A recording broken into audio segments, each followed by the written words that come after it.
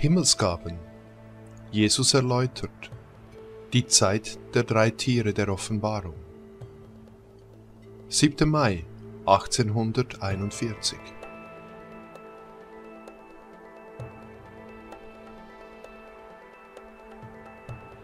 Frage. Was besagt Offenbarung des Johannes Kapitel 13, Verse 15 bis 18? Und es ward ihm gegeben, dass es dem Bilde des Tieres den Geist gab, dass das Bild des Tieres sogar spreche und bewirke, dass die das Bild des Tieres nicht anbeten, getötet werden. Und es bringt alle, die Kleinen und die Großen, die Reichen und die Armen, die Freien und die Knechte dazu, dass sie sich ein Mahlzeichen machen auf ihrer rechten Hand oder ihrer Stirn damit niemand kaufen oder verkaufen könne, der nicht das Malzeichen habe mit dem Namen des Tieres oder der Zahl seines Namens. Hier zeige sich die Weisheit. Wer es versteht, der berechne die Zahl des Tieres, denn es ist eines Menschen Zahl, und seine Zahl ist 666. Der Herr spricht, in meinem Namen schreibe nur zu. Ich weiß schon, woran es euch gebricht. Für gar ferne Dinge reichen eure verlängerten Augen nicht hin, um sie zu erschauen.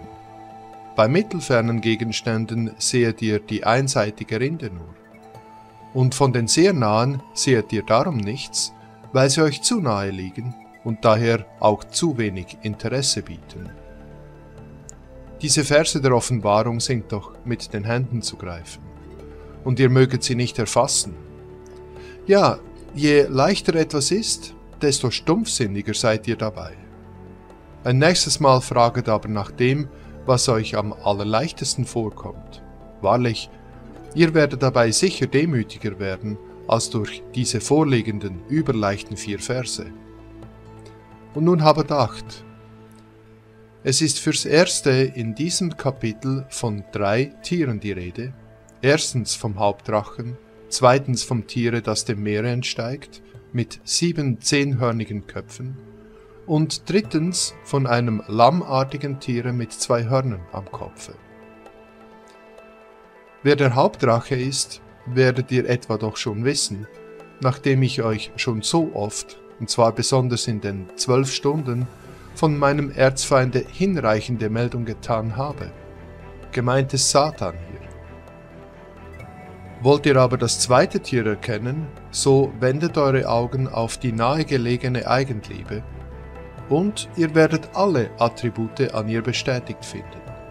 Es entsteigt dem Meere aller habsüchtigen Begierden und hat sieben Köpfe, das heißt für ein jedes Gebot der Nächstenliebe einen eigenen mit zehn Hörnern, durch welche vom einen wie vom anderen Haupte gleichermaßen allen zehn Geboten Moses entgegengestrebt wird.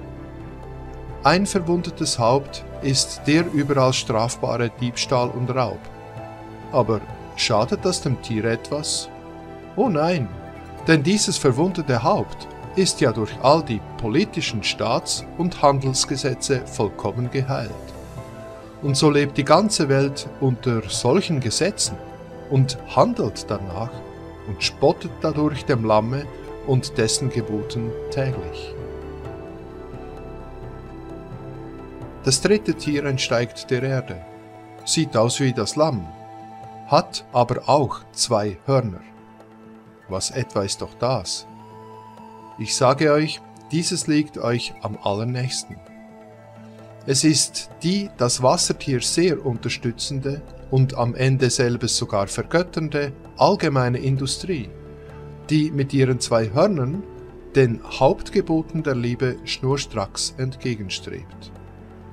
Dass es also ist, blickend nur nach Amerika und England und so weiter.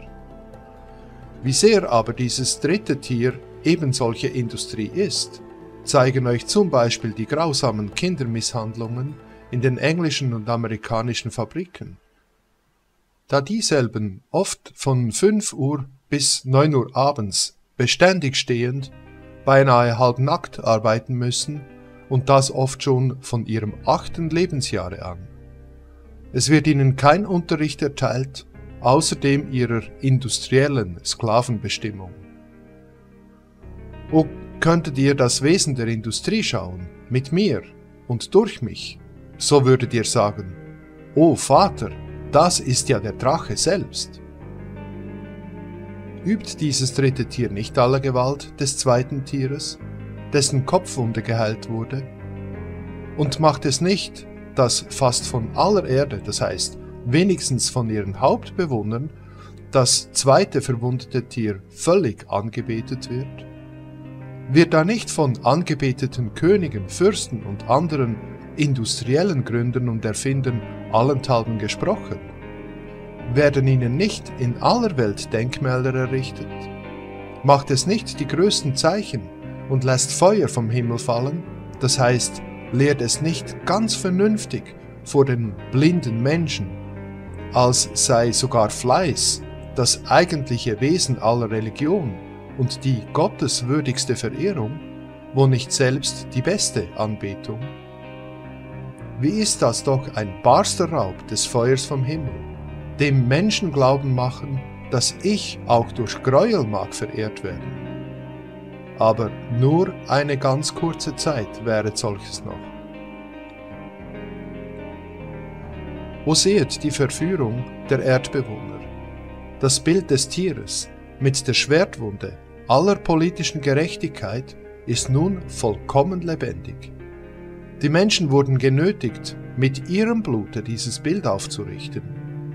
Und nun prangert es und redet und gebietet, tötet und wird angebetet von allen Würmern und Speichelleckern, die darum Gelehrte und Journalisten betitelt werden, und noch von einer Anzahl Schmeißfliegen, die von allem etwas haben müssen, um dadurch, ohne zu arbeiten, etwas zu verdienen. Es wage aber nun jemand dieses Tier nicht anzubeten, so wird er gar bald wahrnehmen, wie viel es weltlich für ihn geschlagen hat. Das aber ist der Geist oder das Leben im Bilde des Tieres, dass die Eigenliebe und Habsucht bei all den Weltgroßen den höchsten Gipfel erreicht hat. Das ist die Vollzahl 666, wobei die Eigenliebe ist gleich 600, das geraubte Himmelsfeuer gleich 60, das heißt das göttliche Gebot ist zehnfach zum Eigennutz angewendet. Und die Nächstenliebe endlich nur gleich 6, das heißt es gilt die allervollkommenste Sklaverei. Statt 100 für eins zu geben, fordert man 100 für eins. Seht und begreifet nun die Bezeichnung der rechten Hand und der Stirne, sowohl bei Großen und Kleinen, Reichen und Armen, Freien und Knechten. Ist es nicht die Herrschsucht, entweder durch Macht oder Weltverstand? Saget, ob jemand nun ohne diese Zeichen etwas vermag? Was gilt ohne dieses Zeichen der Mensch dem Menschen? Wahrlich, ich sage euch, so aus euch jemand Töchter hat, wird er sie wohl einem Unbezeichneten geben? Oder werden sie einen Unbezeichneten verlangen? Kann jemand, wenn er nicht ein Zeichen hat oder ein Amt vom Tiere erhielt, noch irgendein Weltglück machen? Ihr selbst seid bezeichnet, bis auf meinen Knecht, den ich mit großer Mühe bis jetzt noch unbezeichnet erhielt. Ich sage euch aber, wenn ich es zuließe, dass er eine eurer Töchter verlangte, ihr würdet ihn ganz sonderbar bedenklich ansehen und ihm freundlich raten, davon abzusehen, da es sich doch nicht tun möchte, weil er nicht bezeichnet ist. So ihr aber schon solches tätet mit einem, den ich euch in der Nacht der Nächte zur Leuchte gemacht habe, was würdet ihr erst tun, so sich ein anderer, unbezeichneter unterstände, solches von euch zu verlangen? Ich sage, ihr ließet die Töchter eher lebendig einmauern, wohlverstanden. Ich bin der Meinung, nun dürfte euch die Bezeichnung wohl so ziemlich klar sein. Wer vermag nun zu kaufen und zu verkaufen ohne dieses Zeichen? Aber die 42 Monate, gemäß Offenbarung 13.5, sind bald zu Ende, da die Gebote der Nächstenliebe schon über fünfmal siebenfach auf die Eigenliebe angewendet wurden.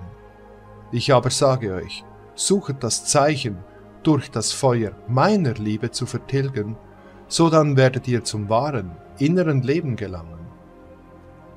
Darum aber ist es gerade jetzt so schwer zum inneren Leben aus und in mir zu gelangen, weil das Zeichen jeden in die Welt hinausbrennt. Daher lasset euch von mir, von der Welt des Tieres zurückbrennen, durch meine Liebe, so werdet ihr das Leben finden, jetzt und ewig. Das spricht der Heilige, große, erste und letzte. Amen, Amen, Amen.